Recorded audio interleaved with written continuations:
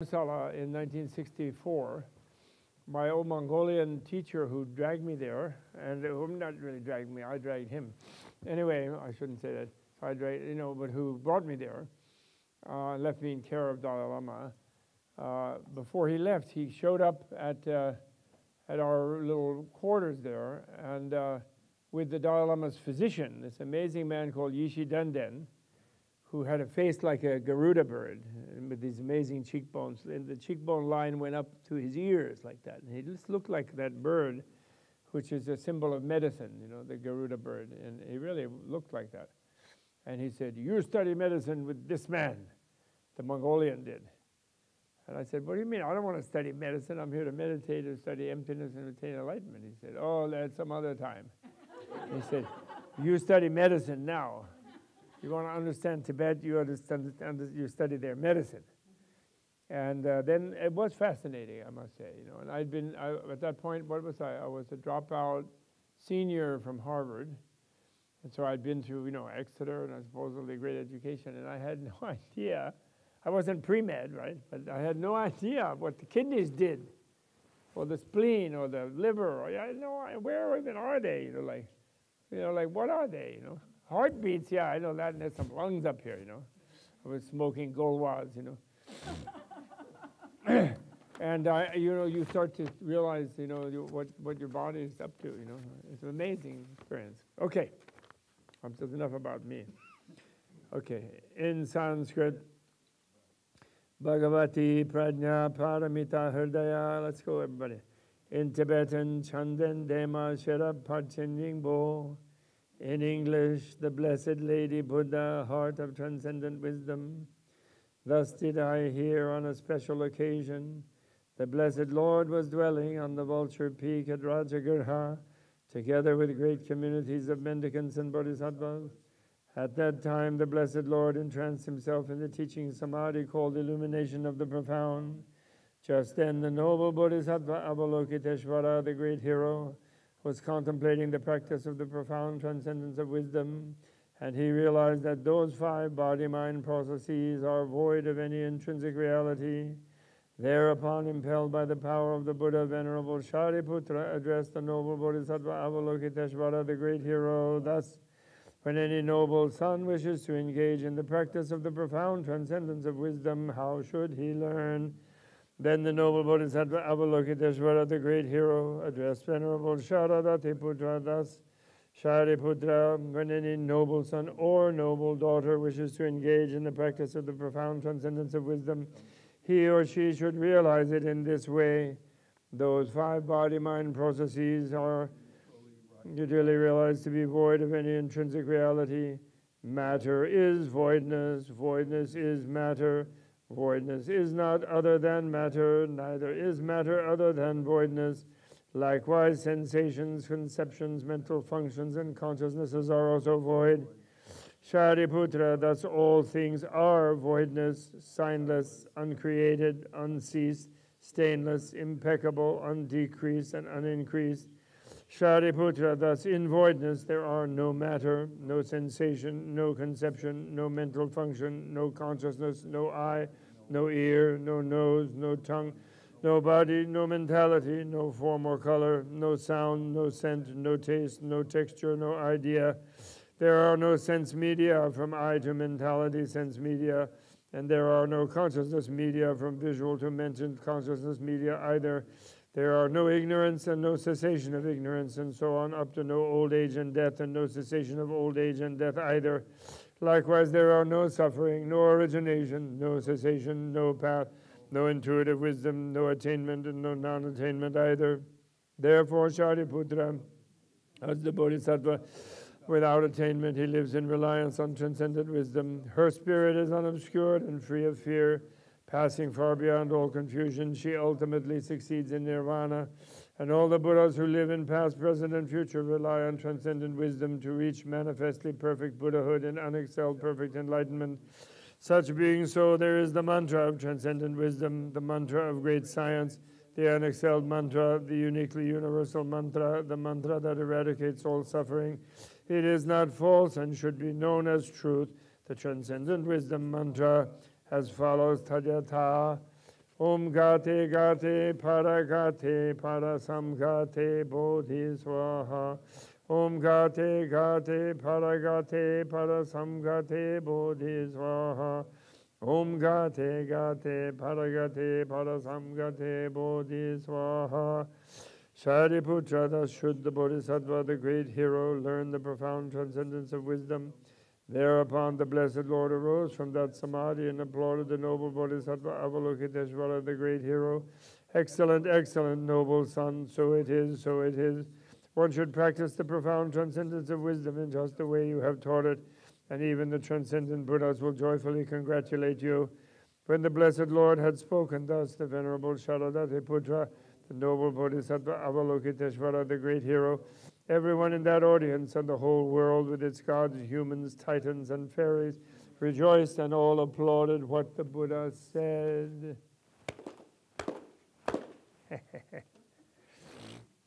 so I heard that this morning. You were brilliantly reciting the same Prajnaparamita Sutra, the shorter version, which is the syllable ah and you were doing it in wonderful, learning how to help a dying person with that. That's really great. Because that is the shortest of the 18 different versions of the Prajnaparamita. The shortest is Ah. That's all it is.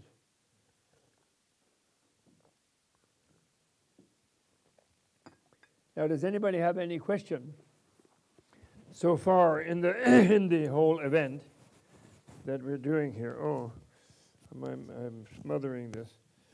Does anybody have any question? The, initially, that you know that has been building up about these topics. You know, you know, not about how old is the Dalai Lama or something. how, about this topic. Any question? What I thought I would do this afternoon in this session. Oh yes, yes.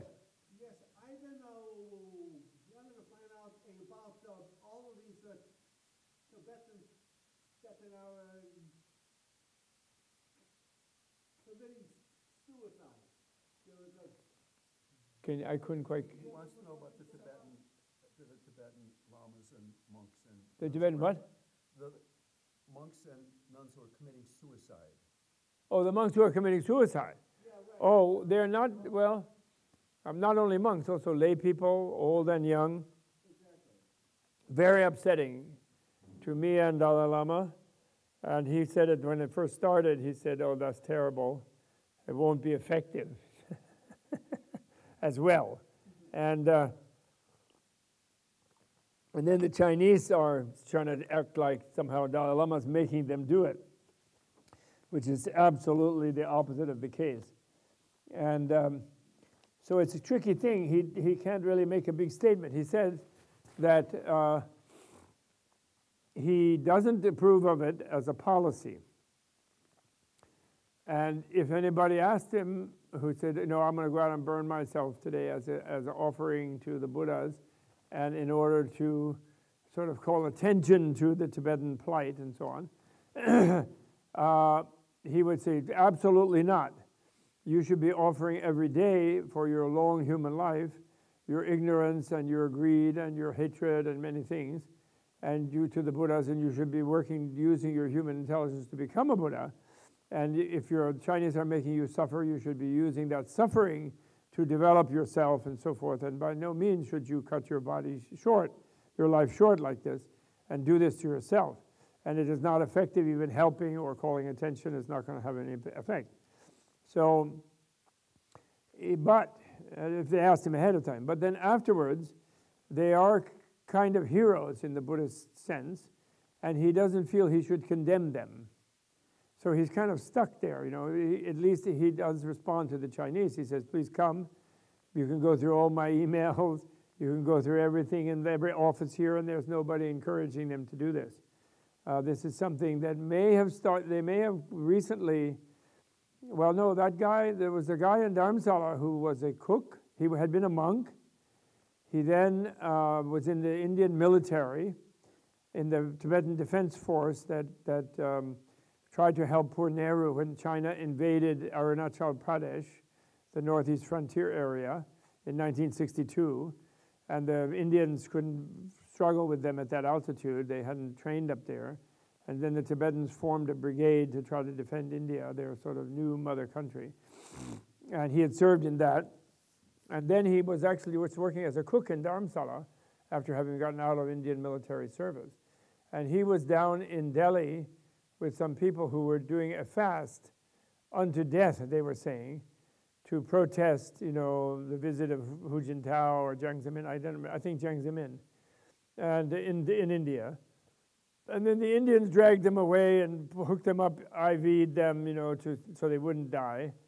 And then while they were dragging them away, this one guy who had joined that fast, he lit himself on fire. And this was 1997, so it was Jiang Zemin time.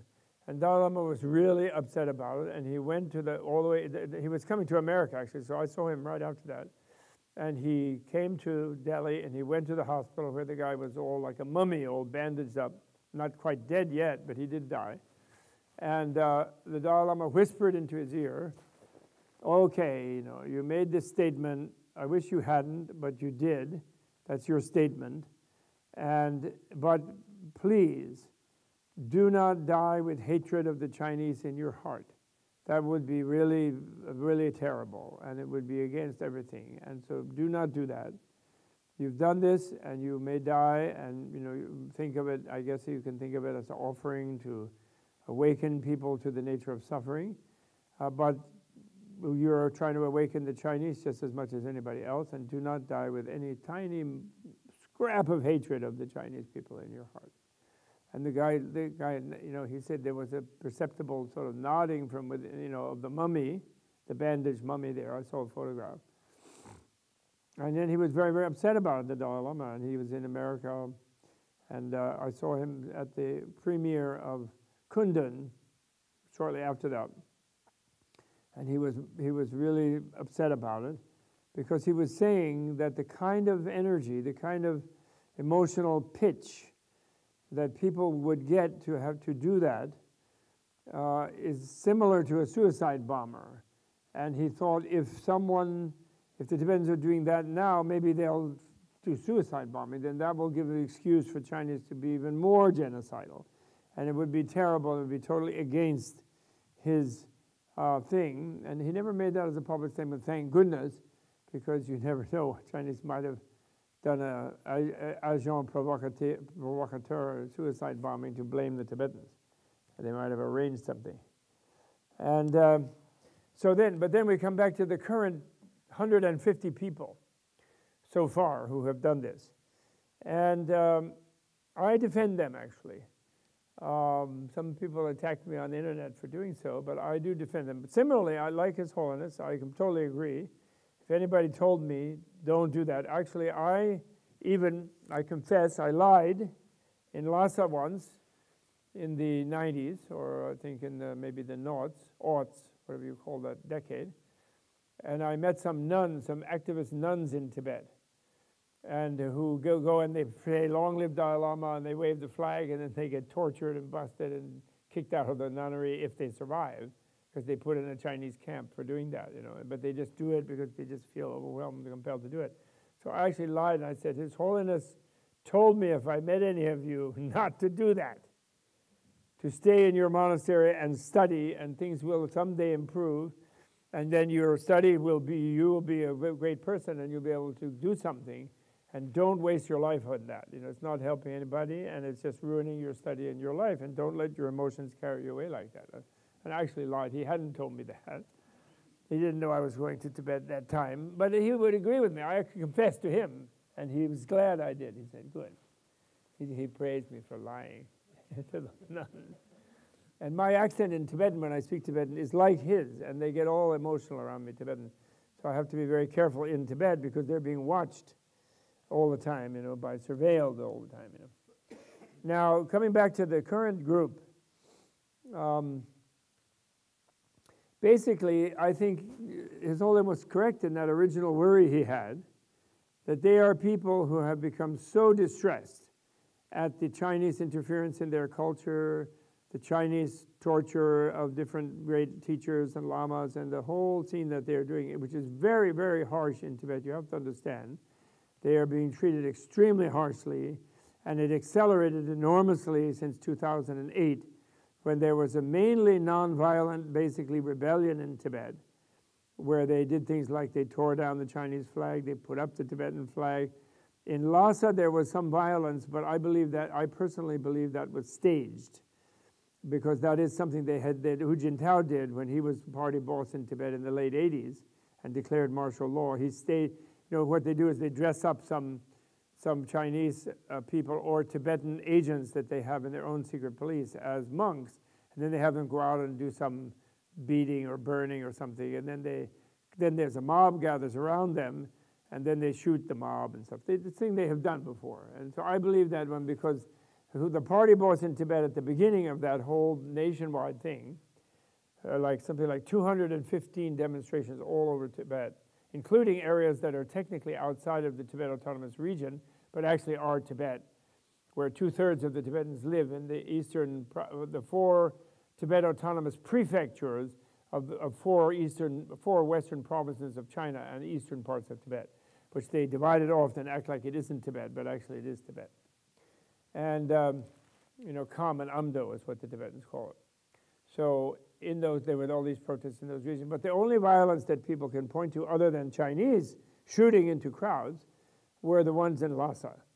And that Zhang Qingli, who was the party boss at that time, the, the fall before in 2007, when Dalai Lama was given the gold medal in the Congress here in the US, that Zhang Qingli said on CNN, he said, I will show you that the Dalai Lama is an evil wolf and a bad person and no good and blah, blah. And the Tibetans are not nice and you think they're great and you people in the world and you're all wrong and they're evil and bad and blah, blah, blah.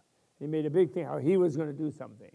And that's what he did. He staged a thing where it made, he tried to make Tibetans look like they were beating up some people and things like that. And, uh, and that was played, was more for the Chinese market. It was played endlessly in the Chinese media to make the Chinese feel oh, we've done so much for Tibet and now they're beating us up and burning our shops and et cetera, et cetera, you know. And the proof that I have is only that A, they've done it before, and B, the Tibetans were pretending to look like Khambas, who are these very tough people in eastern Tibet, but they were doing it in front of cameras. The Khambas, if you go in Lhasa now, there's surveillance cameras on every roof of low buildings. You can go up on the stairs of those low buildings and you can break those cameras if you're going to do something like that. If Tibetans want to actually have a fight and a revolution, and Khambas are well capable of it, they're not going to do it in front of cameras. I wouldn't, would you? Because then they identify you and they have you know, software they get from Silicon Valley. You know, it's sold by us, facial recognition software. They're going to find you and beat you up and your family and torture you and kill you. And you'll be executed. So that would, they definitely were not doing that, really doing that. Anyway, that's what sparked this off. And basically, then the people who burn themselves, they are considering that they are making an offering of their body and showing their freedom, actually, because they feel they are caught under genocidal oppression. And somehow, when somebody's coming to kill you, you say, You can't kill me because I'm going to do myself in as a voluntary choice. And I'm going to give my body as, as a prayer that, you know, this situation of mutual oppression and mutual, you know, master-slave situation that's going on here is not a proper thing for human beings to do. You are not proper being master. I am not proper being a slave. I assert my freedom. I'm going to give up my life. Because actually, the physical life is not the main thing in life. You know, the physical body. You materialist Marxist, dialectical materialists, Chinese soldiers and secret police, etc. So it's a very powerful statement, actually. And, it has, and the Chinese know that. And their biggest fear, the, the dominators, is not to let this be seen in China. Because actually, in the Buddhist tradition, the, the, the ritual of offering your body in flames is very much more prevalent in Chinese Buddhism, Vietnamese Buddhism, not in Tibetan Buddhism, because those cultures don't have Tantra, where you consider the body to be this sacred temple that if you learn to use the human body, you can accelerate evolution enormously, and therefore you should never damage your body. There's a big thing about that. Not that you know you won't be reborn. They don't consider it suicide because they're not killing their self. their self is going to be reborn, and basically, on out of giving your body, you'll be reborn better in a better body, and maybe you'll be in California instead of Eastern Tibet being beaten up by some Chinese People's Armed Police. Or you might be born as a Chinese person, and you might be telling the People's Armed, daughter of a member of the People's Armed Police, and when that guy goes home on vacation, you might say, Daddy, why are you beating up the Tibetans? And who's telling you to do that? And what is the point of that, et cetera, et cetera. So, so, so that's the thing. And, and therefore, I consider them kind of following the Dalai Lama's injunction against violence and his insistence that Tibetan freedom will be won by nonviolence, which will be the first in history that an international, you know, international struggle will be, have been won by nonviolence. So Gandhi, in some sense, won freedom from the British by nonviolence, but that was within a, one country. And also, it was a huge majority of Indian people against the minority of British uh, colonial power. Uh, but, but no one ever tried it, you know, in, uh, in an international thing, and a small 6 million Tibetans and 130 million, I mean, 1.3 billion Chinese. It's never been done. But, but Dalai Lama's insisted on doing that. And so these are people who are at a point where, of course, they would have absolutely sacrificed their life and body like any soldier does real soldier. You know, they charge machine gun nests and so forth, you know, Sergeant York or whatever, what have you, you know. That's what soldier, Iwo Jima, you know, like they charge the, they charge the enemy and they're ready to give their life, you know. And uh, they're at that point where they would have attacked and blown up a police station or done something. Tibetans are very capable of, mech, you know, they're, they're very fierce. They, where they, when they did fight the Chinese in eastern Tibet uh, in the 50s, they were they took a, exacted a huge price from much better armed Chinese soldiers, but they were eventually, of course, defeated in numbers and also armament. They were poorly armed, and the Dalai Lama also told them not to do it, so they were not actually sort of licensed or legitimized in doing that, but they just did it to defend themselves. So, uh, so they are doing what they are at that point of heroism where they could actually, in a normal setting, harm somebody else but they are not harming anybody else. And they are making this, they're, they're changing the level of the game, actually. And so they are kind of like the heroes of the war of nonviolence in a way. And of course, I think some of them, unfortunately, were not, were not necessarily yet at a level where they really don't have anger or hatred in their mind. I think maybe some of the monks do, are at that level. But I think some of the lay people, especially the young ones, I don't think they're necessarily at that level. And so, unfortunately, it's kind of a it's a mixed bag for them. It's not as it's not as perfectly done as as otherwise. But I don't know if you remember. You do because you're my age-ish. So you remember the monk in Vietnam, who who gave his body, you know, and walked up smiling and talking, and then sat down. And I don't know if you ever saw the full film where he smiles even with the flames blazing. He's still smiling and he and he walked and talked just before, so he was not doped up. And he's and then his body just goes poof like that, and that had such a powerful impact in relation to the our population and the sense of the the injustice of the Vietnam War. So therefore, the Chinese they shut down all cell phone things. They go out and confiscate people's phones, and they're desperate not to have that spread in China, especially, and even abroad, but especially in China. They don't want young people in China to see that because it's such a powerful challenge to their fake thing that they are helping the Tibetans. But the Tibetans do that in the, in the hundreds. And the Tibetans say funny things like, one guy in Tunisia, like a fruit seller, he burned himself because he didn't get his like, you know, like sidewalk license to sell his fruit. And then there's the whole Arab Spring. And we're 150 and counting, and nobody's doing anything. And the British are out there, oh, please come and open a bank in London. You know, they're like behaving like that, the Queen of England. But this is what has been happening. Tibet has been sacrificed to expediency and the greed of, many people. But anyway, never mind. That's what, that's what my answer about all of that. okay? It's very scary, you know, very frightening. And it's so painful. But it's luckily very quick. You know, you, you, you, you just go out of your nervous system pretty quickly, but it's a searing pain to die by fire. fire is my worst pain.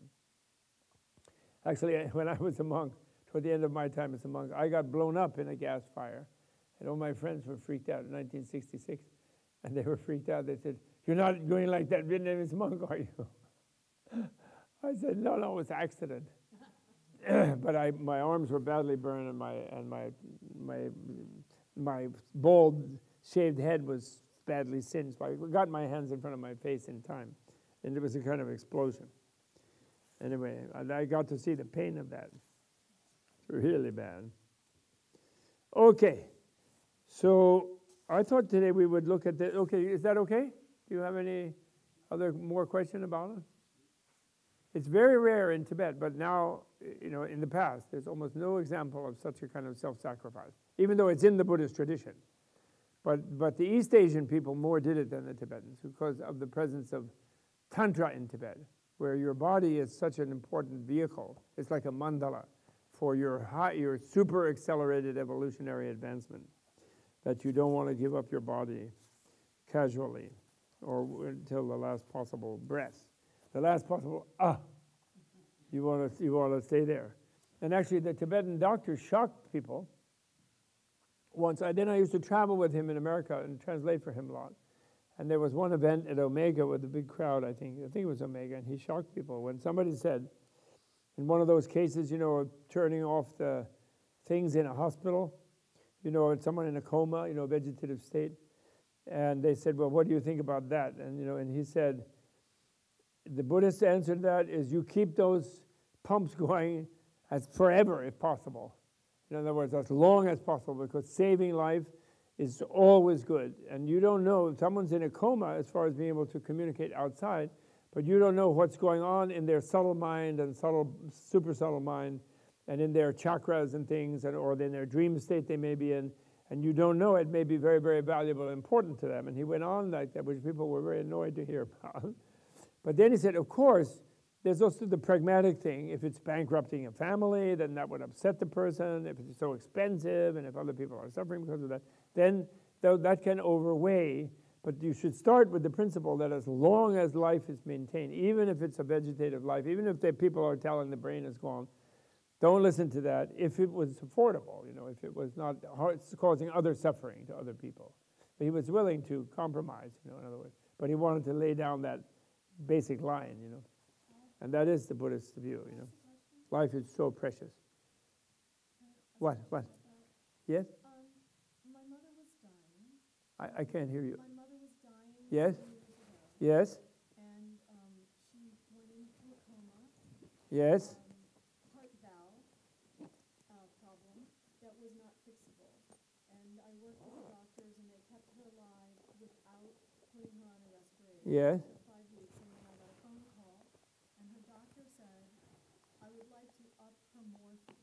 Uh huh.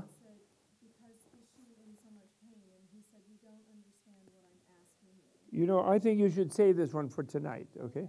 Because actually, he's an expert on this type of thing, and I am not. I'm just talking about principles. No, he's the one who's been at people's bedside. So please save this story and question for the evening, okay? When we're having more dialogue. I want to go ahead with Book of the Dead, and, and it could go on, you know, discussing many different types of dying, you know. So basically, if you have your own home coma pump, keep them alive forever, possible, even if they smell. That's the Buddhist bottom line. I'm just giving a principle. I can't answer uh, intelligently specific instance because I don't have the experience. I'm a I'm a ivory tower, like hopeless, like scaredy cat.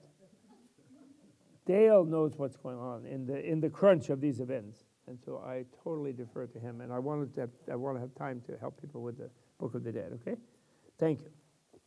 Please forgive me. Okay, so now we're back in this Book of the Dead.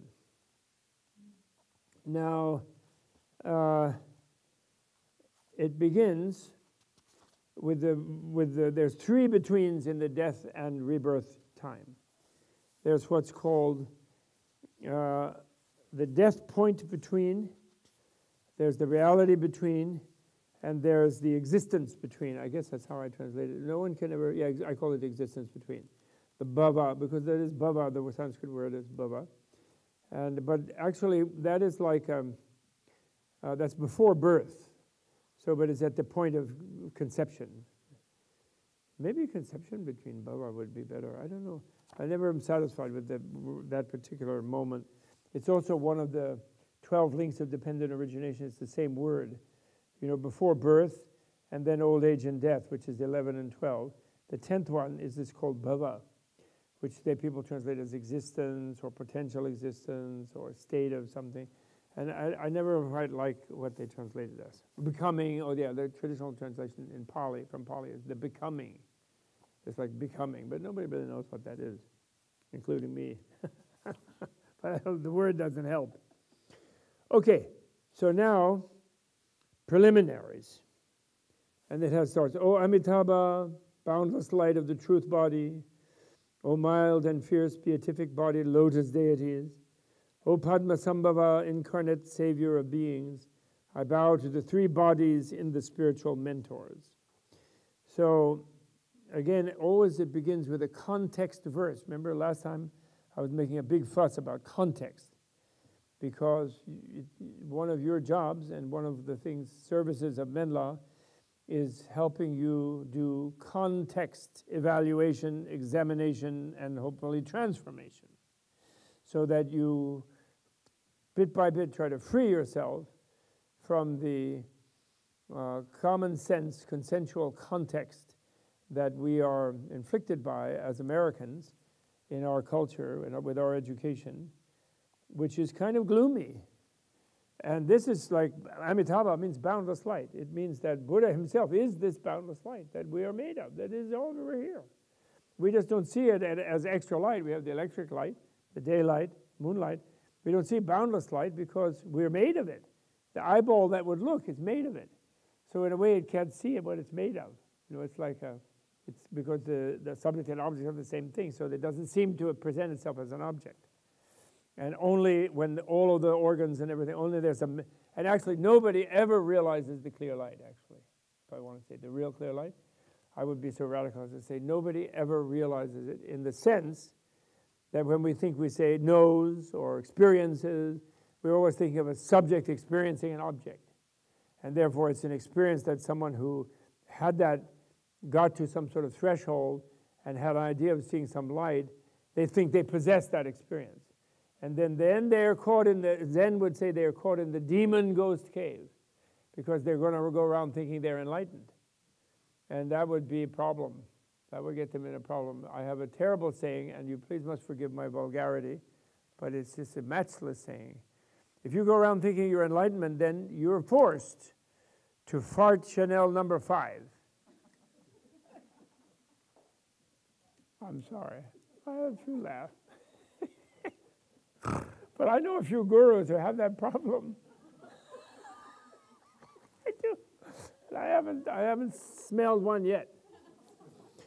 so the point is, what happens about the clear light of the void, which is reality, is you melt into it. We could sort of, that's the best we can say, because subject object non duality, and therefore there's no experience of it because you stop experiencing. It's beyond unconsciousness, but it's different from just being unconscious about it or just believing that it's there. It is yet different. So then, in another way, you can say realize you can say experience, but then the person who did shouldn't claim it. As I told a certain person who has made a lot of trouble lately from the Tibetan tradition, going around saying, I can do what I want because I realized emptiness. And this was a guy who never, you know, who, who, you know, he'd never had a decent dose. So he'd never disappeared. So he thought once he disappeared that he was some sort of big deal. Do you know what I mean? And, uh, and so it's a sad story. He otherwise had a lot of accomplishments did a lot of good things, but then he, I own the experience of emptiness. That's ridiculous. And I asked that guy, who was something of a scholar supposedly, didn't you ever read in Prajnaparamita? There's no attainment and no non attainment? Oh, I didn't notice that. what? Oh, that referred, would that refer to me? I don't think so. Because I realized emptiness. I mean, give me a break. You know, matter is voidness, Voidness is matter. So you're not, if you have space like equipoise, because a piece of matter that you're looking at, your nose, dissolves under analysis, you can call that realizing the emptiness of the nose, but you just didn't find the nose, actually. That's all. You didn't find emptiness, if you follow me. Because if you, if you want to find emptiness, then, and you say, oh, I didn't find my nose, let me find emptiness, then that will also disappear under analysis. And that will be its emptiness, which you can't find. But you can dissolve into it. You are it, you know. You're matter. And it was matter. In other words, this fist, this knee, this knee bone, they are they can touch each other. I can hit them solidly because they're both emptiness. Okay? But it isn't like if I know the emptiness of the knee, I can just put my hand through the emptiness. No. They are emptiness in touching each other already. Matter itself, the nucleus of the atom is emptiness. The subatomic, if there were an indivisible subatomic particle, which Buddha predicted they never will find, and he's been so far that has been borne out, uh, is, is emptiness, not this empty space in which it's spinning only. Okay, that's, that's a, I'm making big fuss about that. I apologize. But it helps us melt into Okay. So, implementing the practical instructions that teach the art of liberating beings, those of greatest ability will surely be liberated. If they are not, they should practice the natural liberation through soul transmission in the death point between. I think this is one yoga of Dale's. I, actually, I don't call it soul, soul, transmission. I don't like that term anymore. I now would call, I call it soul ejection. Just like in a jet airplane, you have an ejection button boom, and you go shooting right, right up out, and the, and the canopy of, the, of your F 15 like flies off, and you go up there and the plane crashes, right? That's, a, that's soul ejection. That's a perfect word. soul ejection. So this is a, you practice that, you know, where you, you find your conscious, super subtle consciousness, which is, which is encapsulated in the heart center in a double triangle, and all wrapped around in a six-fold knot, they call it. And then, but that starts to unravel when you're dying. And you sort of go align with that, or your friend who knows how to do it, I believe Dale is an expert at this, you go and he aligns their consciousness with your consciousness, like sort of picking up a piece of cotton or something like that with a, another piece of cotton. And then you, you go like, hick, like that. And you imagine that you're driving that up to the crown of the head. And that's really something cool. And, but before you do that, actually, there's a very beautiful thing, where which is one version. There are other versions. You can use Padmasambhava but the one that I know and that I like, Maitreya Buddha. You think of Maitreya Buddha in his Tushita heaven, and then there's this funnel of golden light that comes down from his heart center down to the crown of your head, and it's a little bit bigger than just a point. So in case the thing bounces it catches it like a funnel. And so when you hit it and you go out, you go into that point of light, into that funnel. And then, then the, the tractor beam from the heart of the Buddha draws you up into the Buddha's heart. And then, of course, Buddha's heart is, the, is, the, is the, then returns you to your heart, which is infinite clear light, right? Infinite brilliancy. That's a, it's so beautiful, that one. I actually once had a monk die who was a graduate student of mine and was a, one very talented, genius, beautiful monk of the Dalai Lama's monastery, but he had this fibrosis in his lung. And we had many operations in New York. He was a graduate student there, had insurance, and they couldn't fix it. And then he finally died. And then all his fellow graduate students and colleagues and myself, we did that. We did a ritual like that. And, and but then we used actually Dalai Lama sitting on top of his head, his subtle body head, and then uh, on a lotus, you know and then him going up like that himself. We didn't do sort of phowa, but we, we imagined him doing it. And together, and actually a number of us in that ritual at that certain moment, we sort of saw him smiling and actually going up and merging with, with His Holiness. We sort of, a bunch of people saw it, had like a mental, I mean, maybe it was just our fantasy, but we, it was very similar. Everyone saw it in the same way. Really marvelous. He was so happy, the guy, getting away from his fibrosis, you know. It really was. But he was unhappy because, because uh, I told him to be unhappy on the table there when they were intubulating him. And I said, okay, you're leaving, but I'm keeping your notes for your PhD dissertation. and I'm going to save your scholarship, which I couldn't do actually, but anyway, I'll have to pay it myself if he gets reborn. And you have to come back and finish this PhD. So don't think you're getting out of it. but he hasn't showed up yet. But some Lama said he reincarnated as in his brother's family, they say, but we don't know. He hasn't shown up yet anyway. Okay, so then, uh, so then there are these things where they give instructions.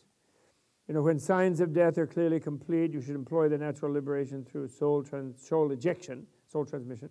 If soul transmission succeeds, it is unnecessary to read this book of natural liberation clearly and distinctly, sitting beside the body. But oh, if it does not succeed, you should read this book of natural liberation clearly and distinctly, sitting beside the body. If the body is gone, then you should sit at the bed or seat of the deceased. You should invoke the power of truth, summon the soul, visualize the deceased as sitting in front of you listening, and read this book of natural liberation. During that procedure, it would be very disturbing if the loved ones and relatives were to weep and lament. They should be quieted. If the body is still there during the time when the outer breath has ceased, but the inner breath has not, the dead person's teacher, fellow disciple, or trusted and beloved relative or friend should read this book of natural liberation with lips not quite touching the ear of the corpse, that is. And, uh, and then all kind, you know, sort of things about saying these preliminary prayers that are quite nice, and that, and that, and uh, now recognition of the clear. The first important instruction you give recognition of the clear light, that is the luminosity, what Theo calls in the death point between. The clear light is an indescribable transparency, a light that is omnidirectionally illuminating, yet beyond the brightness of sun or moon, and also beyond dimness or darkness. I should also say, or shadow. The text uses the terminology of betweens in a somewhat confusing way. Well, I don't want to do that so much. So then you say, this, there's a lot of good instruction here, though. Now, hey, noble one, you say to the corpse that's in front of you, you named so and so. Now the time has come for you to seek the way. Just as your breath stops, the objective clear light of the first between will dawn, as previously described to you by your teacher, which is what your, your, your dying hospice attendant has been doing, doing during your time lying there waiting to die and preparing you. So, as previously described to you, what this clear light will look like. Your outer breath stops, and you experience reality stark and void like space. Your immaculate, naked awareness, dawning clear and void without horizon or center. At that instant, you yourself must recognize it as yourself. You must stay with that experience. I will describe it again to you at that moment. So here is where, you know, the I habit that we have, the ahamkara, the Sanskrit, or dagzin in Tibetan, the self habit or I habit, rather than just sort of suspend it completely and like don't think of anything, you should transfer it when you feel yourself slipping away from consciousness and for a sense of boundariedness and slipping into some sort of vast space and a way becoming the vast space. Actually, there was a, I love The Matrix, the film. I don't know if you remember, but in The Matrix, when, when Neo bravely, admirably takes the red pill from Morpheus, and then at one point, he's looking at himself in the mirror, and then he touches the mirror. And then the mirror surface comes on his finger, and he's like looking at it. Then it comes up his arm, and then he starts writhing because the mirror is, is absorbing him, actually, right? Because it's swallowing back his matrix projected illusory image, and then they are tracing and trying to find where the actual body is in the, in the, in the test tube, remember? They, you know, the submarine people are. But he's having experience of being absorbed into something and he's like resisting it. So that, that's how it could feel when you become, when the object becomes you in a way, rather than you, you know it. Oh, there's the clear light. Oh, okay, great, I'm to sail into that. No, the, the clear light becomes you. and it sort of seems to come up like that mirror came up his arm. If you any of you can remember that vivid, they're such geniuses, the Wachowski brothers. They're Buddhas. They're just brother and sister actually now. One of them even had the guts to have a transgender operation. Larry became Lana. They're so great. I don't know them, but I want to. And uh, that's a perfect thing if you go back and look at that part of that film. And uh, so you're telling this person, when this thing seems to be absorbing you, you say, This is me. This is my real deepest being embracing me. I'm embraced by this freedom, by this bliss, by this melting, this ecstasy, this. Actually, I have a word that I invented recently in a political gathering to try to cheer up Ralph Nader and a few other angry people uh, I had the thing about having a digasm. I apologize. I know it's really bad. Okay, so you just let go to it. In other words, you just have to let go. And you have to be ready to let go. You have to realize it's not the blob coming to eat you. It's not the devil. If you, you know, if you think lurking outside, in a way, the nothingness is not that bad in that sense, in that at least if you think that nothingness is getting you, then you're prepared to accept that as a materialist, and at least you have a fantasy that it's going to be anesthetic. You're not going to feel pain. You might wriggle and writhe because you're used to holding on to this is me, but then you're sort of into nothing, and you're not afraid of nothing because you think it's nothing, so it won't bother you. But then you're never sure, and you've watched too many horror movies where Sigourney is going down the corridor in the spaceship and in this dark place, and an alien jumps out. You know?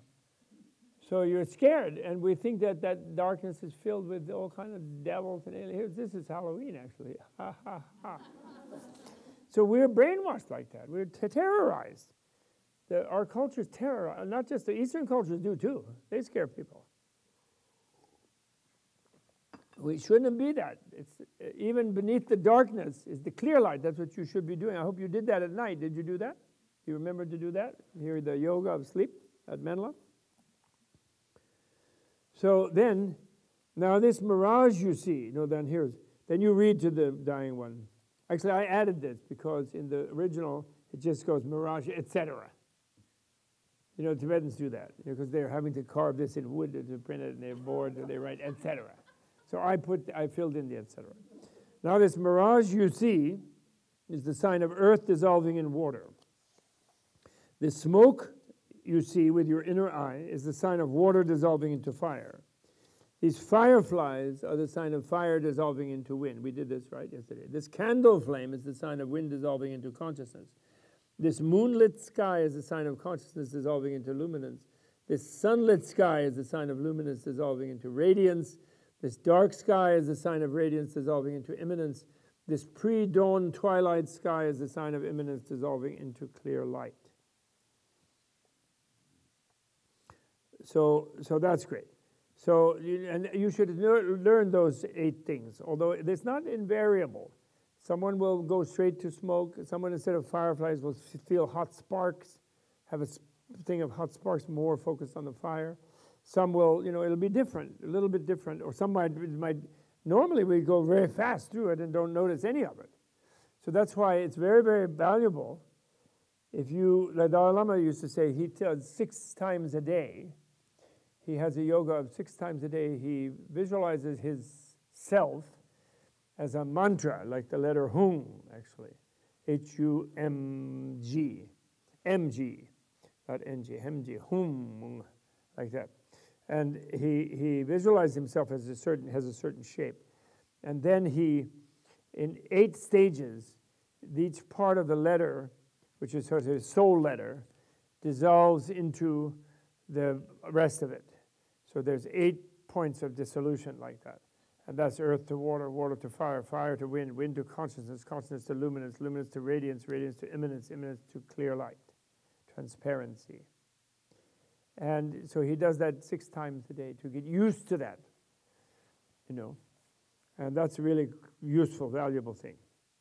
Anyway, th- then the key thing here now he says, he says, now he's The first instruction in bold type here, he says to, the, to someone who's already a bit of an adept, a teacher, he says, Venerable teacher, please act on your spiritual conception without wavering. That means spiritual conception means your bodhisattva vow, where you pledge to be love and compassion for all beings in all your future lives. And you to focus only on other beings and love them and be compassionate to them. And that's what you need at this point. You need this as you're melting down into a sort of the center of the heart chakra. The point, and actually it's very interesting.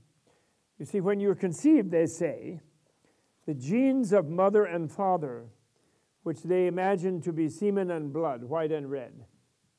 So the white and red seeds meet, right, in, in the womb of the mother. And then you come and, and you, th- you are having a dream experience, dream-like experience in your subtle ghost-like body, and you see the mother and father, and then you kind of just you just try. If you're going to be female, you th- you try to be the mother, and just unite, have an orgasm with the father. If you're going to be male, you be the father and have a union with the mother and melt into the mother, and then what happens is you end up landing between the red and white seeds, the way that they, the Buddhist science understands it and then your seed, your subtle body, mind, super subtle wind, light on it, is blue, dark blue. So it's red, white, and blue. So cute. French, Russian, and American. and, and then it's sort of trapped in there. And therefore, the moonlit space that you see when you go back and unravel this in the point of death is where the white uh, seed opens, releasing the beginning to release the blue center. And then the, the, the, the red light, the solar thing, is the blood, is the, is the red, connects to the ovum and the, the female, you know, you know, fertile energy. And then that's when you see so brilliant so sunshine, you know, because, because women have all the power that moonlight, a little reflecting thing. The women have all the power. In the Buddhist thing, Hindus, they try to like, you know, they are Shakti, but you know what, I'm Shiva or something, you know. They get a little into that. And then when you see the dark lit, it's because you're, you're just go back into your blue place. And then and then that blue place feels all naked without the red and white and look, wants to go look for another th- place to be so that they'll have a, machinery of, of a boundaried self again, you know, wants that. But if, the, if that person in life has learned to boil down into the heart center, has learned to sort of simulate this experience, and to let go of everything, has learned, learned to allow themselves to melt, they have removed their emotional armoring, they're trapped nature of their neural system and their mental system and is able to say, I am this vast light and space and one with all Buddhas and beings, then the, the I am, they, they feel secure enough that they will then notice beneath that blue dark, they will notice what is really the deepest energy of the blue and the red and the white, which is the, which is the indescribable, although the analogy is pre-dawn twilight, is a diamond, transparent glass-like diamond that's the analogy, but it's indescribable. You can't, it's beyond duality of bright and dark. So even, even attempts to describe it have to always make the caveat that it's not going to work, this description. So then there's a nice thing for that's for the teacher. You just say, remember you are, you are love and compassion. And this that means that this clear light is love and compassion. Because why? If there's any suffering, something inadequate, incomplete, or one thing pressing on another, this energy just enfolds it all in bliss. And it fulfills any lack of energy anywhere. It's because it's an infinite energy that can be drawn. Therefore, it is basically love, which is a total, you know, energy of happiness, of fulfilling, of satisfying. That's what it, that vast thing is. So it's, it's, it's, not, it's, not, it's no biggie to melt into bliss. It's you want because you want bliss. Everyone loves it. Hey, noble one, now you have arrived, and here's the instruction for the more regular person. Now you have arrived at so called death. So you should conduct yourself according to your conception of the spirit of enlightenment. That is your will to, to be love of all beings, to become a Buddha, to be love, your bodhisattva, and therefore to be whatever component of that you can, which is the bodhisattva deeds of body, speech, and mind. You should conceive your spirit of enlightenment thus Alas, I have arrived at time of death. And it's alas because human body is a great thing, a great achievement in itself. So alas is, you know, we're not that we're not happy to give it up. We're oh my left knee. I'd be love to give up my left knee. I would love it. I have arrived at it's from soccer, from playing soccer. Steve there is like, that's okay. He's in clear light there. Don't worry. Alas, I have arrived at the time of death. From now, relying on this death, I will develop my spirit only by contemplating the conception of the spirit enlightenment of love and compassion. For the sake of the whole space full of beings, I must attain perfect Buddhahood. And this, I should, I should clarify this space full of beings thing. We look out in space and we see darkness, which we imagine sort of nothingness, although somebody says, well, sunlight comes through it, and uh, cosmic rays and whatever, maybe there's something there, you know. But anyway, we think of it as nothingness. And, and then they see all these stars, which we think of as just burning fires, you know, like 10,000 degrees centigrade, 10 million, I don't know how hot. So it's totally inhospitable to life, in short. So we, and then we're here like a little blue-green thing that we're wrecking busily uh, in quest of comfort. And, and, we, and we think, oh, what do you mean space full of beings? There's just a few of us here on the planet, you know, like 9 billion, 7 billion, whatever it is, and we're like, oh, lonely and uh, well, whatever. Luckily, it will be nothing soon. So, so what does it mean, space full of beings? Th- these people from ancient time, thousands of years ago, they look out and they see zillions of planets like this they see one like a great carpet. You know, it's like, it's like, uh, okay, and don't say that's impossible. Okay, here's a carpet. Your scientists will tell you that it is made up of atoms that have a tiny nucleus and tiny electrons there, and mostly black blank space. So similar to the model of the outer space. It's like that. But I see a very smooth carpet. I don't see holes in it and it looks like a nice carpet. So there could be a vision that would pick up those places of minds, and they're not just material planes. There may be places in, the, in our cosmos that are not on solid earth and so forth, but are pure energy fields, beings in floating in pure energy fields. And, there, and, and so there's a vision that sees all of them. And it sees space full of them, also suffering ones. When they say space full, they're talking about the ones who are suffering or our mothers, who've been our mothers. And I'm going to attain Buddhahood, which means I'm going to be I'm going to be this bliss that I'm melting into here, but I'm going to I'm going to be one to engineer this bliss into forms that will help those spaceful of beings find this bliss themselves. That's what I'm going to do. That's what Bodhisattva wants to do. That's what it means to want to be Buddha. And especially you should think now, for the sake of all those beings, I will recognize the death clear light as the body of truth. That means it is, it is this invisible body of reality, of infinite reality. Within its experience, I will attain the supreme accomplishment of the great seal. Like, you know, a sealing wax. Actually, I have on my phone this California guy. He has a seal with a, a seal with a crown and a planet on his nose. Says the Great Seal you know, like a seal, like, oh, oh, oh you know, the seal. but the great seal means like a sealing wax. And what that means, the great seal is your embrace by the bliss field of the clear light of the, the void. In, that, in other words, it's like everything embraces you orgasmically. It's the orgasmic embrace of infinite reality, something like that.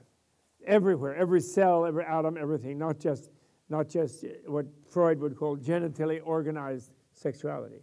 It is an infinite melting of yourself, and the seal is that you are sealed by this bliss void indivisible, bliss emptiness indivisible.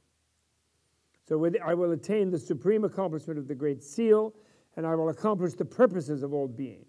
If I don't attain that, then in the time of the between, so the best time to attain it is when you're you are melting. You are living in the body of death, in the body of death as truth, the body of death as deathlessness. That's where you're living. But if I don't attain that, that's what they're always stepping down in the book of the dead, in the book of natural liberation. Then in the time of the between, I will recognize it as the between. That is, I will lucidly between, like a lucid dream. I will realize that that between as the great seal body of integration. I don't use integration anymore, I call it communion. I'm sorry, Catholics, but that's the great body of communion. Same thing. And I will accomplish the purposes of all the infinite space full of beings by manifesting whatsoever is needed to tame whomsoever. To tame means to educate. To tame means to get rid of them being under the control of the wild ego habit that makes them feel crazy because they are this one little thing facing a vast universe. And therefore they're frightened and they're angry and they're greedy and they're completely deluded and depressed and they, they just they realize they can't overcome this vast universe and therefore they lose to it. So tame them means to educate them that they are the vast universe and they don't have to fight with the vast universe and lose the fight. Thus, never losing the willpower of that spiritual conception. You should remember the experience of whatever instructions you have previously practiced. So then, then you go. Then he says to them, Now, right now, the objective clear light dawns for you. Recognize it, please incorporate it with you. Then there's another great section here of this type. Hey, noble one, you named so and so. If you want, when you want to meditate on this yourself, you could think of someone you know who recently died, who you cared for, maybe who you were with at the time. It's never too late to talk to them, especially if Nina and Michael Newton are right. And everybody has multiple, everybody, everybody is too big. Everybody who has attained humanity, their, their soul, mind, body, being is too big to be incarnated in one little human brain body. And so, even people who are already reborn somewhere, they're also still there as a, as a, a divine being in some way, an angelic force, uh, uh, something that's not incarnated in the flesh and blood bone. Although, although the main thing is to go into flesh and bone, actually, the human form the only reason that we all have a human form is love and compassion, actually. We wanted this body of flesh be, in order to touch other beings and be touched by them. When we were just meditation beings, it was we were just flitting around, and like we went up to give somebody a hug, and we like hugged right to each other, you know, like like that guy in the movie Ghosts. You know, Bruce Rubin, who wrote that, had read, studied this. uh, unfortunately for him, not my translation but he did study it. And now, now he has mine now. I came to see me, actually. He has mine now. But, you know, that, that all of the phenomena that are there about, you know, him trying to communicate to his wife and he can't, that's totally there. And that's another proof of my former life, by the way. After I dropped out of high school, I went to stay in the dorm room for, I was kicked out, actually. I dropped out and then I was kicked out when I tried to go back. And I was staying in the room of uh, uh, some upper class guys who were already at Harvard. And I was in their room, and they had a TV in their room. And there was a session of the David Susskind show, which only probably very few of them will even remember what that could have been. And they were debating something really interesting to me of deep philosophy. And I was beside myself trying to get into the discussion. And I was saying, no, like something, and I was like, really? Upset with one point of view and then the other, and I had a way of solving this problem. And I was like totally like that. And then suddenly I was so frustrated and emotional, and then Tom and, and Ted came and said, What's the matter? And I said, Well, you know, they're not doing it right. And I was like that. And then I suddenly sat back and I said, Oh, that's what it's like when you die. You want to say something to the people you care for and care about, and they can't hear you. And you and shake them by the shoulder to pay attention to, and they, they do not react and they do not feel it. And I had not read this at that time. So that's a proof of former life right there. How would I know that? How could I imagine that? No Western person ever wrote that. Nothing I ever read, no Greek, no Roman. Romans are all like in the Ramatorium. They would never think about it. So, so, okay. Hey, noble one, you named so and so, listen here. Now the pure, clear light of reality dawns for you. Recognize it. Hey, noble one, this your present conscious, natural, clear, void awareness, this presence in clear voidness without any objectivity of substance, sign, or color. Just this is the reality, the mother, Buddha all around goodness. So, this is the ultimate context shift that I'm talking about for all of us to work on. You're surrounded by the mother, the cosmic mother. The poor Judeo Christians, they're male chauvinist transmitters of what was probably deep teachings they received from a deity, they received from mystics. They turned the mother into a ghost. You know, she is meanwhile infinite energy of completely loving embrace and nurture. And so, whatever happens, it all hangs out, it all falls out, you drop dead, you lose consciousness. The, the bottom line is this loving embrace of this infinite, translucent energy. That is a, such a different context within which your life is taking place. It's you know, maybe some people had a kind idea to withhold it sometimes because maybe people would become too complacent. And Tibetan Buddhists can't become too complacent, I think. Some Buddhists do. They just sit around like, yeah, it's like, you know, what is it? Allstate, is it? Which one of those insurance companies holds your house in these two hands? I never want them to see a, a tanka, an icon of the thousand armed Avalokiteshvara. They would abuse that in advertising, you know, held in thousand hands, you know, the, the, your house, you know. Because so the Buddhists do, especially Mahayana Buddhists, but Theravada sort of have it in, in a suggested, hinting way. You're held and embraced in this wonderfully positive thing. It's a wonderful universe, actually. That was Buddha's discovery. His discovery was not suffering and misery. People were having plenty of that. They didn't need it discovered for them what was the, the revolution that the Buddha did and why it's still happening on the planet is everything is fine. You know? Ray Charles. It's all right, right? Did you have a song like that? I think in the video of that song, like the George Washington Bridge is collapsing in an earthquake. But he's singing, It's all right, it's all right.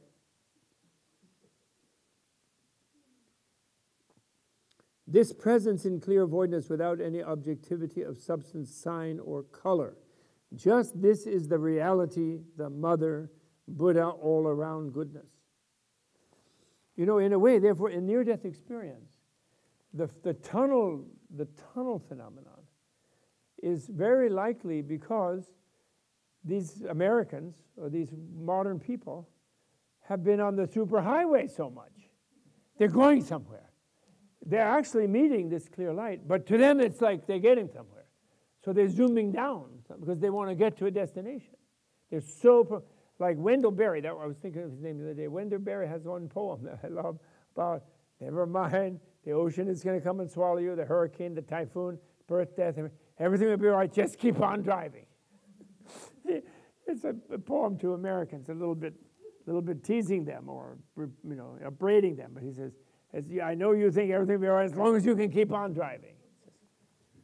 So I think the tunnel is really meeting this clear light, but then you're making it, you know, I don't mean you personally, I mean, you are making me, you're making it like get to New York, you know, get to the, get to the beach, you know, get somewhere, you know. And so it becomes a tunnel you shoot along. I really think so. I don't think itself is a tunnel. Although then some people think it's the, you're shooting down your central channel from your brain into toward your heart center. And then, that, then you don't want to go further down, actually. Want to be, as you mentioned the other day, you want to be careful. You want to go back up. So that could be also that. But, and uh, so this, just this, so that's the mother Buddha all around goodness, Samantabhadra. Total goody goody. That's the universe itself. And this, your conscious awareness, natural voidness not your awareness voidness. It's not your object. The, the mother is your ob, the objectivity voidness. The, your awareness is the subjectivity natural voidness, not succumbing to a false annihilative voidness. Just your own conscious awareness, unceasing, bright, distinct, and vibrant. Just this awareness is the Father, Buddha all around goodness. Just this presence of the indivisibility of your awareness as naturally insubstantial voidness and the vibrant, bright presence of your conscious awareness. Just this is the Buddha body of truth, Father, Mother, Buddha, Father, Mother, God. Your awareness thus abides in this vast mass of light, of clarity, void, indivisible. You are free of birth or death. Just this is the Buddha changeless light. It is enough just to recognize this. Recognizing this, your own conscious awareness's purity, nature as the Buddha. Yourself beholding your own awareness. That is to dwell in the inner realization of all Buddhas. That is so nice. That's the death point between. And of course, ideally, if one was really fully prepared, if you'd been doing your practices and your studies, if you had encountered at any time, it doesn't matter what age.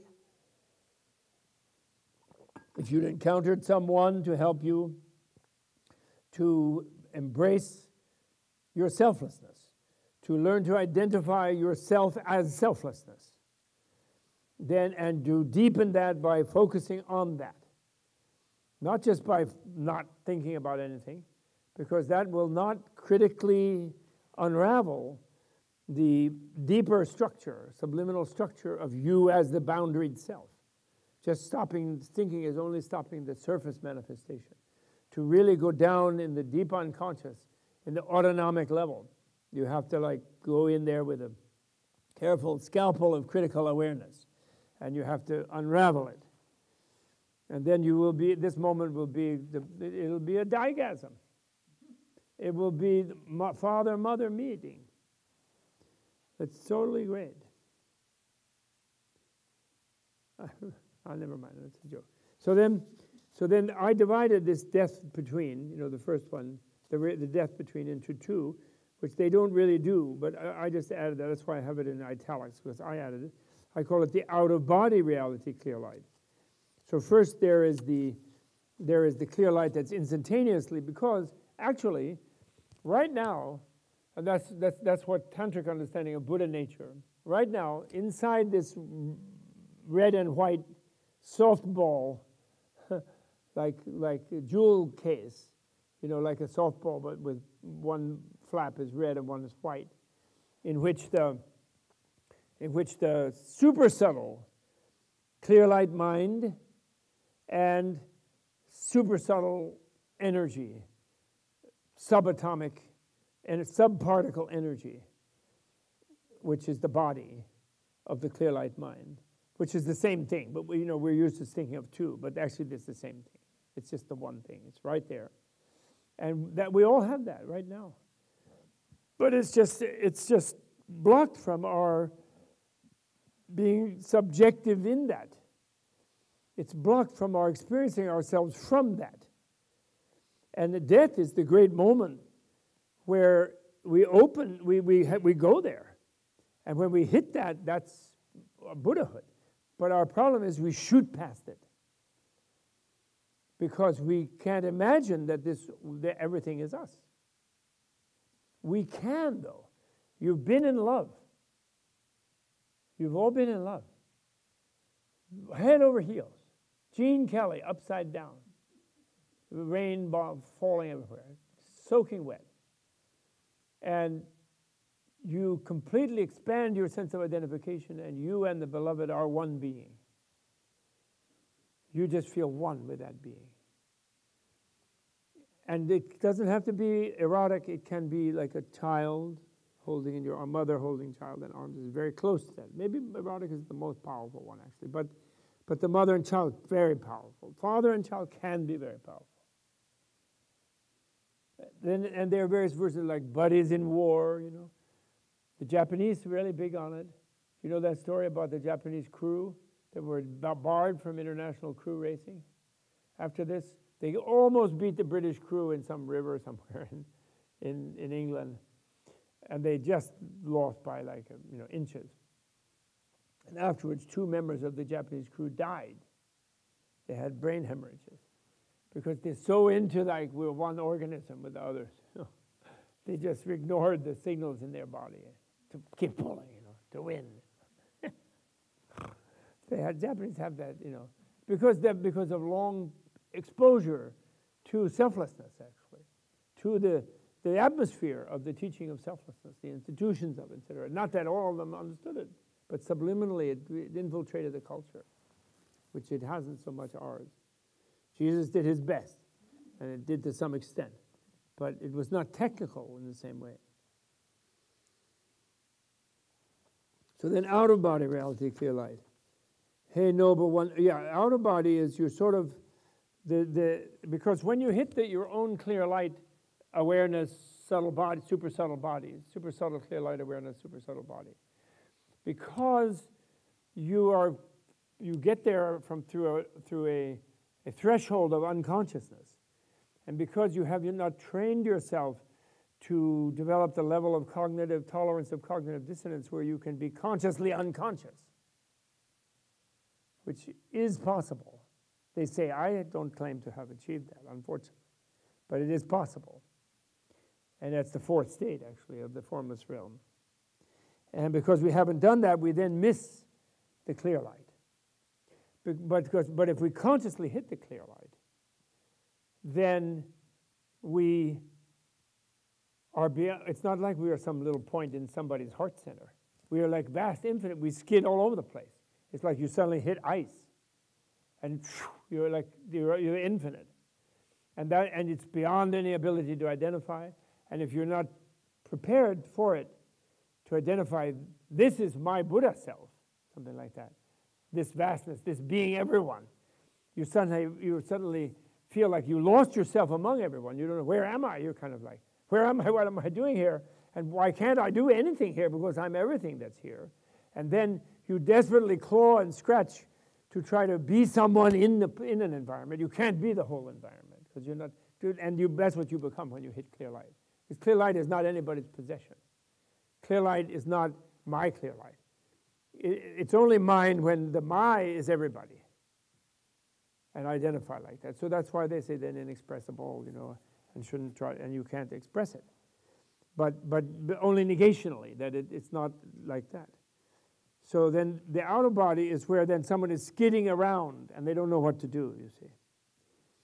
It's not that first second of hitting it, which is the death point between the in, in body. But outer body one is then, then you introduce them to people who will help you.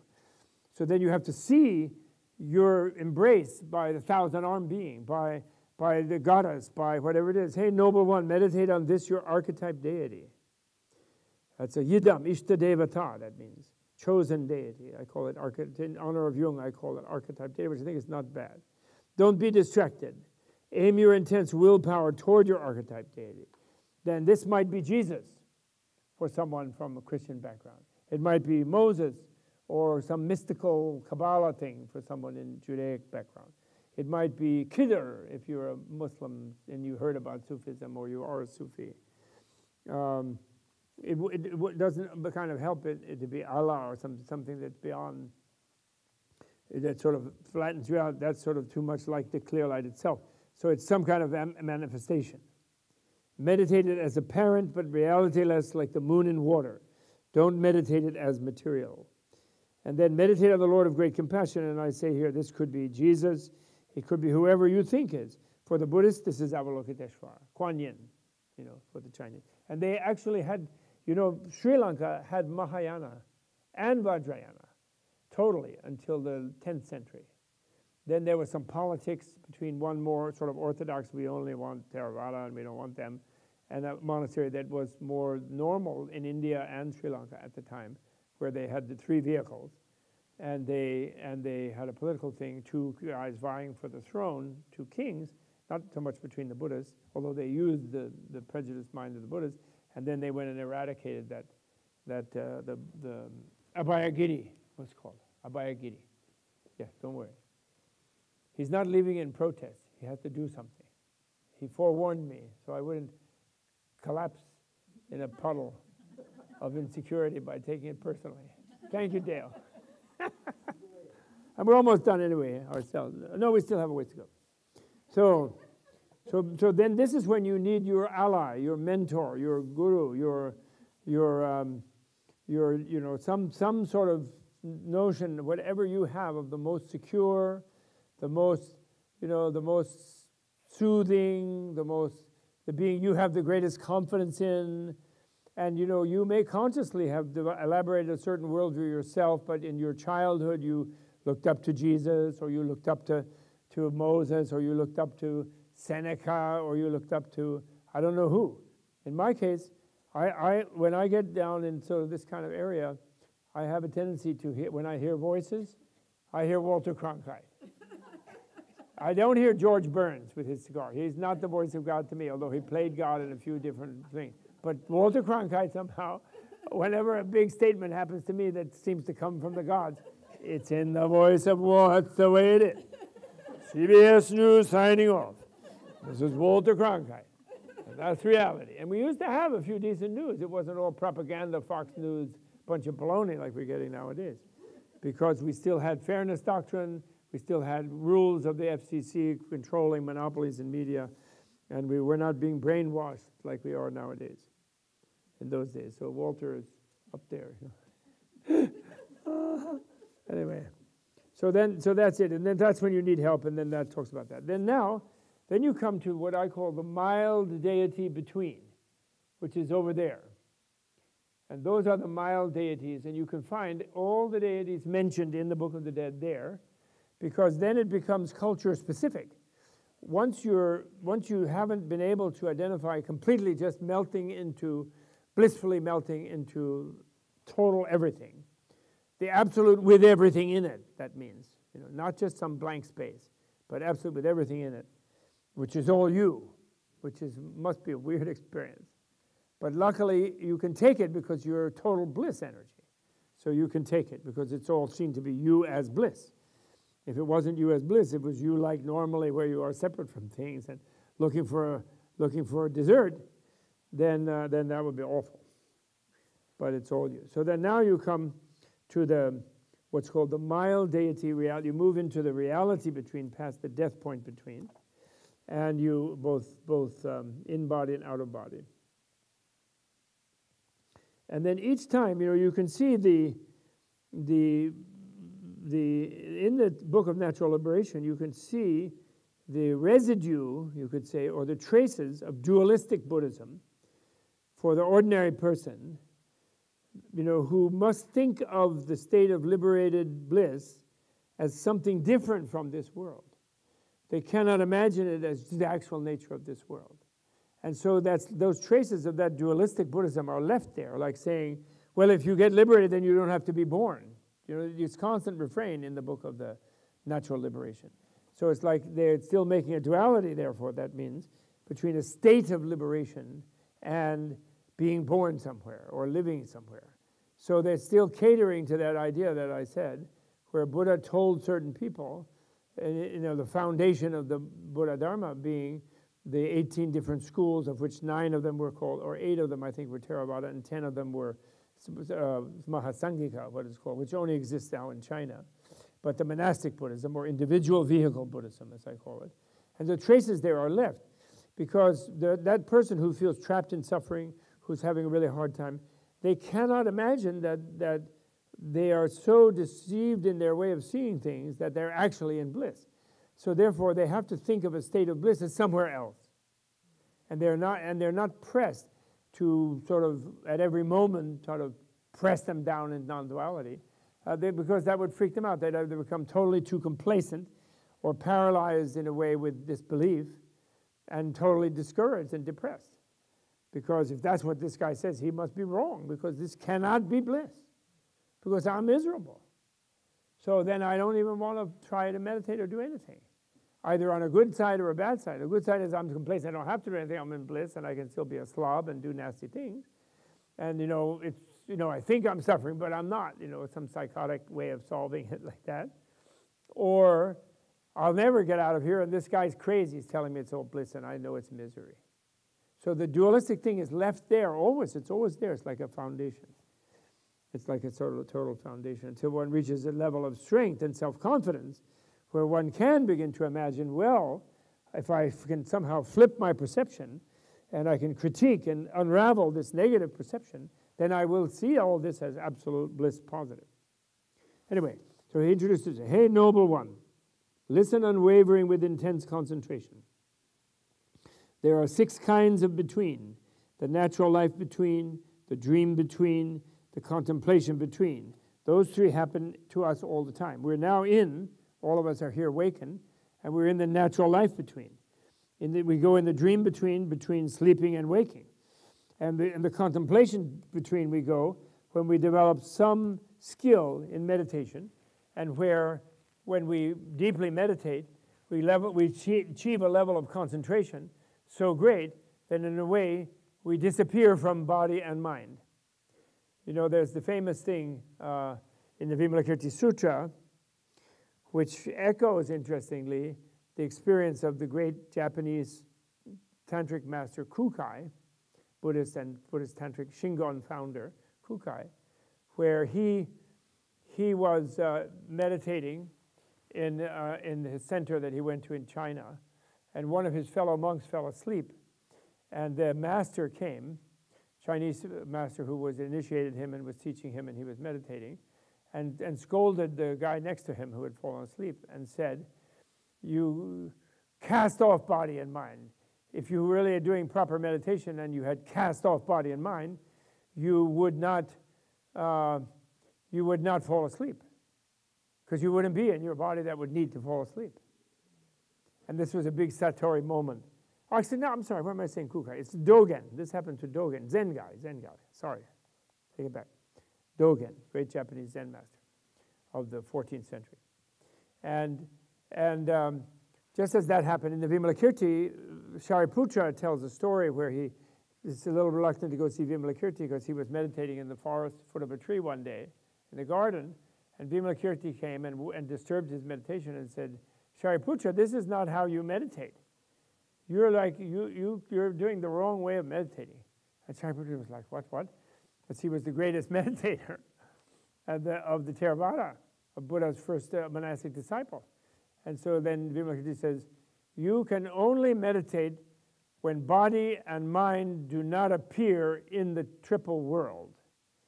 That is to say, you know, when you've melted your body mind sense of self definition as apart from the universe, triple world is realm of desire, realm of matter, pure matter, and realm of immaterial realm, or form and formless. So, so, uh, so that's, that's the contemplation between, right? Which are one of the three betweens we have in life. We're now in a between between birth and death. When we fall asleep and wake up, we're in the dream between. When we go into deep meditation, where we where body and mind no longer appearing anywhere in the in the triple in the triverse, not universe but triverse, then that's the contemplation between. Then the, the ones that, are, that we think of about quote unquote wrongly titled Book of the Dead, the death point between, the reality between, and the emergent existence between. Uh, emergence between, that might be better just by itself. I don't like existence. Emergence between, that might be good. I put that. But I was scared to put it alone. I put it with existence because that's so settled, you know people by translators. Mm-hmm. Hey, noble one, three betweens will dawn for you, because you're talking to a dead person, a, corpse. But, but the, not the corpse, because the person is already out of the corpse at this point. They're like hovering around like, the, like, uh, like uh, Patrick Swayze in the Ghost movie. They're hovering around you, but they're nearby their body because they're kind of wondering who is that and why am I not in that body. What's that? it could, it's different. It, it's, no fixed thing. It could be some time. Sometimes they say people stay in the pure, clear light for days. But the ordinary people, I think they shoot through it like a tunnel, and then they're dealing with some kind of guide. You know, they meet some mentor or guide who maybe sends them back because the near, de- near death ones, of course, didn't die, so they're sent back. And, the, um, and then those who are not sent back, we don't have their testimony yet. But we do hear in a way because these are ones who, this, this, all this description comes from people who did die but remained lucid in the dying. So the time of this is not set. So when you're dealing with a dying person or a dead person who did die, and you're like trying to be their guide and help, they've asked you, you've worked that out, you're working on that, then you can read it six months later, a year later, it doesn't matter. And actually, it's very valuable to do. a lot of people who are not Buddhists at all um, have written me testimonials that, well, you know, I read this on the year anniversary of the death of my beloved, this or that. And I had a very strong sense of connection when I read this to that person, and they seemed very happy, and it made me very happy. And of course, it could be just their fantasy, or it could be some real thing. I met someone just the other day uh, who was doing a, a special on me in the magazine of the Unity Church. And we had this terrible dance where we kept missing meeting each other. We spoke on the phone. And then she said, Oh, I'm into future life now. Don't worry, Lepti. Don't worry, I'm into it. And not just, you know, the one future life of the Christian, and therefore maybe past life, but I'm into it now. I said, Well, why? She said, Well, she said, My daddy sent me a sign. She said, I says, What? She says, Yes. She says, Well, said, I don't tell many people, but I'm telling you. She felt okay because of my belief system, I guess. And she said, My daddy was a Navy soldier. He was very proud of his unit. And he lived in Ohio, but in Albany, the Navy put up a big ship that was the kind of ship he served on. And then they have a different, and his name is on a plaque there because he was one of the people who served on this ship. And I told him before he died, I would go visit that because he said he that ship and the thing and my cap, and he was really into that memory. I said I would go to that ship. I told him I would go. But then one thing I kept asking him as he was dying was, "Send me a sign, Daddy. I want to know you're going to be okay." And I, and she hadn't read Tibetan Book of Natural Liberation. She's told me, and she. So then, on the year anniversary of his death, she went to Albany to visit his ship. She told me, and then she said, "I'm a details person. I'm highly organized." When I got to Albany at the hotel, I discovered I'd made the booking for the day before. But they let me transfer it this day. They luckily they had a room. So I went to, but then I was a little up stressed because I never make a mistake like that. So then I went up, and before having dinner, uh, I went and I took a nap, and then I lay down, and I was thinking about my father because I was going to go to the ship, and I lay down, and uh, I had my iPhone in my hand, and it, it was no, there was no calls or anything, and I turned the call in case there was. I turned the volume off, and I was on the bed with me like this, and I fell asleep for 15, 20 minutes. She said, and when I when I woke up, I, I sat up, and I, I, I, I looked at my phone, and my phone was doing something I would have had to press three or four buttons for it to do. And I couldn't have done that because it was face down on the bed. And then it was playing music. And it was playing a song I never play Heaven is here on earth. So then I said, Daddy, you send me a sign. she, she was a little nervous after telling me the story. I said, He sure did. Steve Jobs, get out of the way. He pressed all those buttons. and he played you Heaven is here on earth, meaning not only is he fine, but you should be fine. You're right there on earth and it's heaven. Don't freak out. It's because daddy's not there. Daddy's there. No rush to join him. She was quite happy with that. I don't think she'll put that in the article. oh. Hey, noble one. So those are the six kinds of between. Okay? Uh, the existence between will dawn until yesterday in the death point between. The reality clear light dawned, but you did not recognize it, so you had to wander here. Now the reality between and the, the existence between will dawn for you. As I describe them, you must recognize them without fail. Hey, noble one, now you have arrived at what is called death. You are going from this world to the beyond. You are not alone. Actually, I don't think I'm, I want to wait because actually Dale want, might want me to read this when he comes tonight. So I think I will. I will not do any more. Any any question? Anybody have any question? other than don't ask question like of like what shall I do when I'm because Dale will answer those. But ask me any question about what we talked about. What page is that? What? Oh, this is page 130 and 131. And you know what it is is the actual instructions I have in bold type. And then in this kind of type, in this mar- same margin, I have the, the Tibetan text of the instructions of how what you how you read them to the person. You know. But these bold type ones are the ones you read to the departed one. And then in the narrow margin, in smaller type, are my sort of notes. Because, you know, this kind of book, they didn't want like heavy footnotes on the bottom of the page.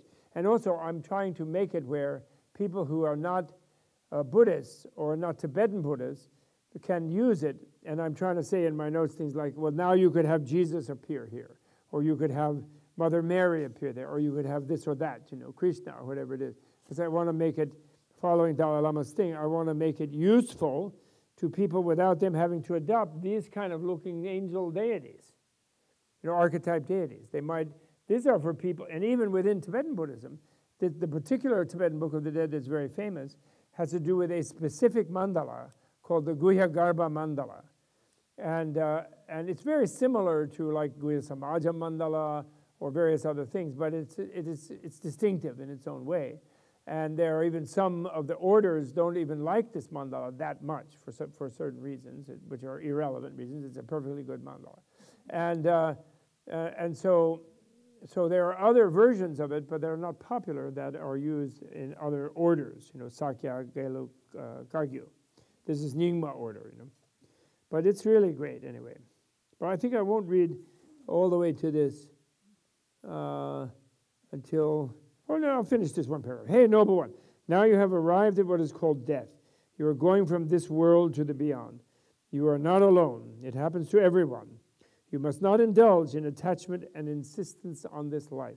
Because one of the things that people do when they come out of the clear light and they're groping around to be somebody, they then they gravitate toward near where their body of the previous life was, the just depart, just left behind life, and they kind of trying to get back into it. They will somehow and it's very frustrating because, of course, they can't. And it's already decomposing, or something. it might have been three or four days. Sometimes four and a half days is something they sometimes say, but there's no rigid rule. So you are attached and you insist. You have no power to stay. You will not avoid wandering in the life cycle. Do not lust, do not cling, be mindful of the three jewels. Three jewels are Buddha, Dharma, and Sangha. You know, Buddha is the teacher, Dharma is the reality taught and the teaching about that reality. Sangha is the community of those trying to live by that. But the great thing about three jewels for people who are not Buddha, and, be, and taking refuge in three jewels is how one becomes a Buddhist in a sort of formalistic way. But the good thing about it, where people who are not Buddhists can still have a sense of refuge, is they take refuge in the Dharma, which is the real refuge anyway for Buddhists, and the Dharma means reality. So I have my slogan that I really like that what Buddhism really is is realism because it's based on a vision of an enlightened person who said reality is safe, reality is goodness, reality is beauty, reality is bliss. So if you take the more you have refuge in reality, the better off you are. Your ignorance is not bliss, your ignorance is causing you suffering. That was that's the in a nutshell, that's Buddha's discovery and promulgation on the planet. So you can be have a refuge in reality if you will change your context, your sense of context, and work, which takes work, and try to re-educate yourself to feel it's all right. And you can do that through Christianity. You can do that through Islam.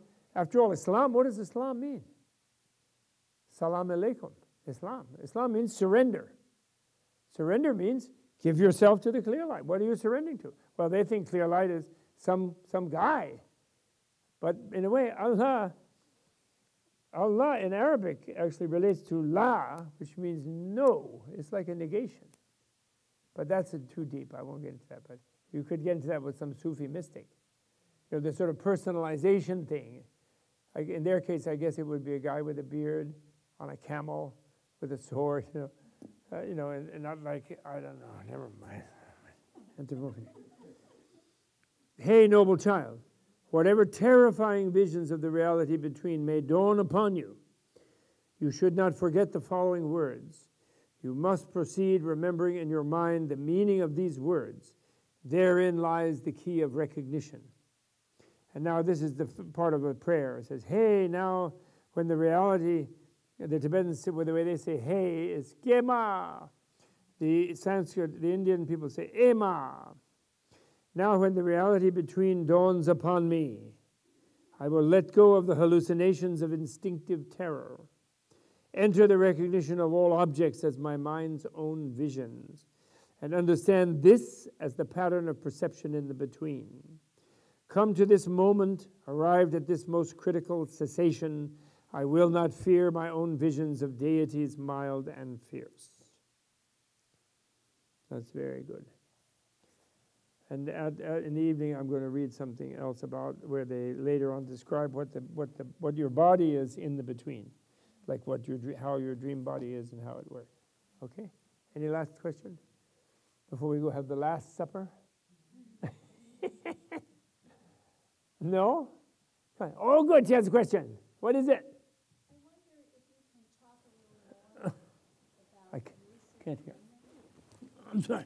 What is that? I wonder if you can talk a little more about lucid dreaming. Oh, lucid dreaming? Context. Talk a little more about that.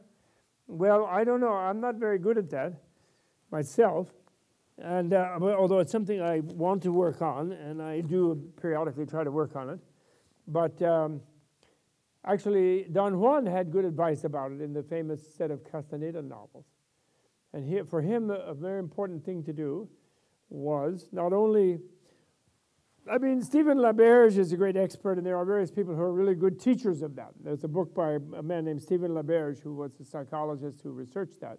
And he then he he then goes he teaches and has seminars in Hawaii and all that.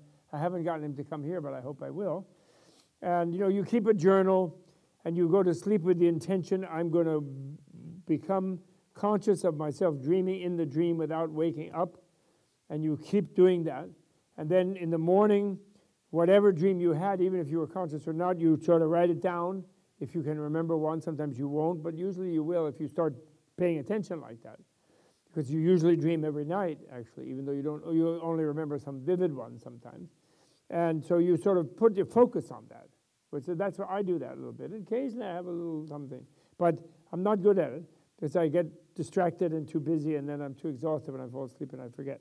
But, and then I'm too busy when I jump up. But if you live more sanely than I do, you, you, when you go to sleep, you make a big intention. Now I'm going to be aware of myself in the dream. Then I'm dreaming. Then you go sleep, you have your dream.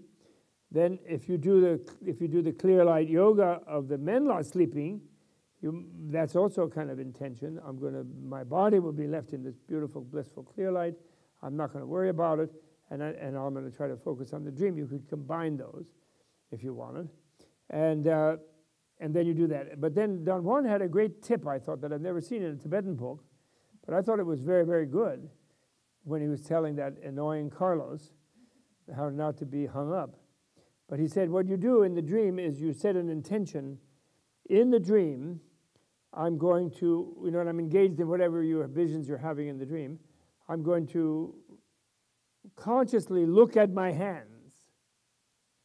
I'm going to withdraw my attention from whatever is happening around and I'm going to look at my hands and become conscious of myself as a body, a subtle body, maybe some whatever kind of matrix body in the dream, because I'm in the dream matrix actually. It is a matrix body. But the way I will start becoming aware of the situation and what's that I am awake and conscious in a dream is by looking at my I'll look at my hands. And Carlos found that useful after much stubborn resisting and so on. And he then began to have some lucid dreams. And I think that's a fun thing. I really like that. Don Juan, the great Yaqui holy man, Don Juan, who I believe did exist definitely. Uh, some people think he made him up, but I don't think so. I know his, you know, Carlos Castaneda, he had two failed PhD dissertations, and he succeeded his third PhD and he got his PhD in anthropology. And each of the failed dissertations was a best selling book. Tales of Power, and it was amazing, actually, kind of amazing experience. But I know his, uh, I, I, knew his, uh, not well, but I met his um, thesis advisor, and he assured me Don Juan existed. Because he said Carlos could never have made that up on his own, which of course may be the attitude of the advisor, I don't know, but he was sure that he did exist. So, so that's a little bit about lucid dreaming. Okay, any other thing? Anybody? Okay, take a break at ease. Talk amongst yourselves, as they used to say on Saturday Night Live. Okay, let's go have din din. It's a little early, but that's enough. Okay.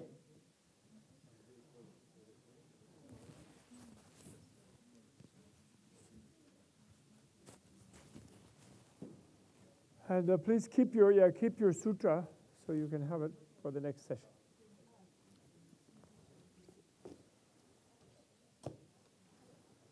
Hi, Dale. Oh, there's Dale. I thought Dale left. No, there's Dale. Great socks. Oh, thank you. Yeah, they're from, they're from Vermont. Oh, They're good. called darn tough. They're really good. socks. Excellent, excellent. My son gave me some socks. They're called Happy Socks. Oh, cool. They're a little bit like that, but different Yeah, colors. yeah, these are, are What's up? affordable. I brought a thangka. the- the Oh, you thangka want me to I- see that? Oh, that's it. Yeah, Oh, wow. And, Oh, um, how cool. That's a great tanka. isn't it? I like it. Yes. And I'm gonna show I think that's a secret jambala, actually. He's secret. Isn't Yeah, it, it's thangka? called a secret jambala, I think. I mean, I don't claim to be absolute. And he's so, 'cause- well, he's definitely a wealth deity, of course. Right, And he's holding the jewel vomiting mongoose, right. right? And, uh, and well, that's just Desire. on, that's, no, he's, sa- no, no, no, she's What? not desire, she's She was- poverty. Oh, she's poverty. He's standing on the incarnation of poverty, which means, of course, someone who's, uh, who's dissatisfied in a way. Okay, But because he's a wealth deity, okay, and I think it's Jambala, right. and uh, I don't think it's Vaishravana. The two most important ones are Vaishravana and Jambala. I think that's Jambala. And of course, that's an elixir of immortality, which is made from the blood of demons that he's holding in the skull cup in his right hand. And um, he's nice and, you know, like the Asian